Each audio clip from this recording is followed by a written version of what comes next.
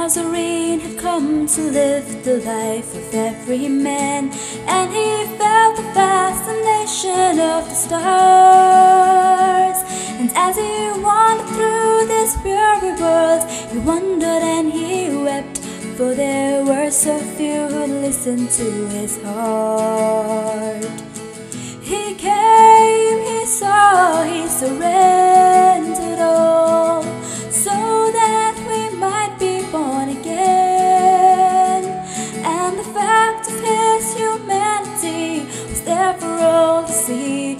was unlike any other man, and yet so much like me.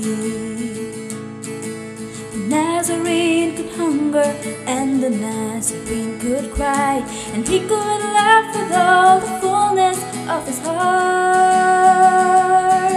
And those who hardly knew him, and those who knew him well, could feel the contradiction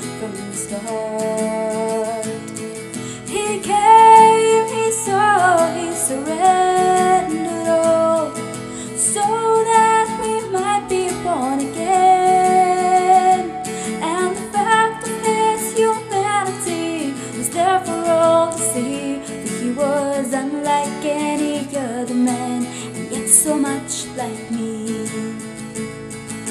He came, he saw, he surrendered all, so that we might be born again. And the fact of his humanity was there for all to see. He was unlike any other man, and yet so much like me. He was unlike any other